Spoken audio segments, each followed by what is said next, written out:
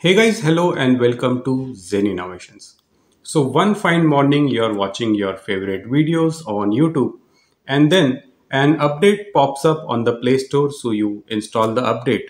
And since that day, you have been facing a typical problem. So let's discuss regarding the problem first. And this is the typical problem which I was talking about. So here we can see that this interface does not hide automatically so you could try waiting it out. You could try clicking over here, but the interface does not disappear automatically.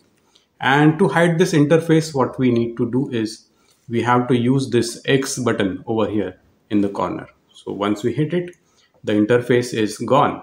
But the next time you perform any operation, say you play pause the video or you skip it around, and then this thing is stuck once again. Really, really irritating, isn't it?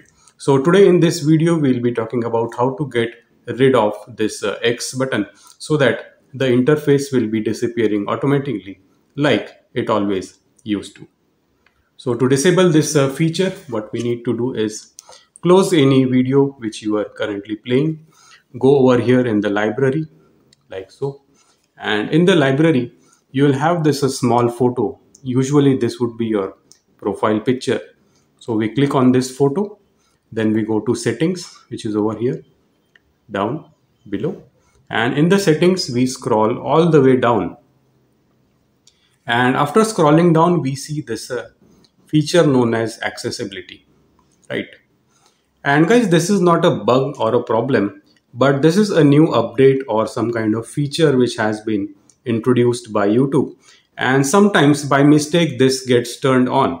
And then people are left puzzling like oh why is this x button over here? And why the interface is not hiding itself? So to get rid of this feature we simply use this toggle button over here. So let's remove it. See i turned it off.